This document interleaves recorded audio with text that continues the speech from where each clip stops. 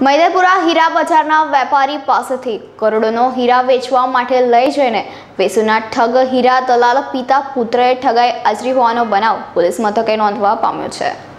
Maidarpura police પાસેથી મળતી માહિતી મુજબ સિટીલાઇટ રોડ ખાતે રહેતા નીતિન બંસલ હીરા વેપારી છે અને તેઓ પાસેથી મૈદરપુરા હીરા બજાર ખાતે પીપળા શેરી દેવ બિલ્ડિંગમાં વેસુ ખાતે રહેતા ઠગ હીરા દલાલ પિતા પુત્ર, જેમાં ગતિક નરેન્દ્ર બાડિયા અને નરેન્દ્ર બાડિયા એક કરોડ અઢાર લાખથી વધુના હીરા વેચવા માટે લઈ જઈને તેના રૂપિયા કે માલ પરત ન કરીને ઠગાઈ આચરી હતી.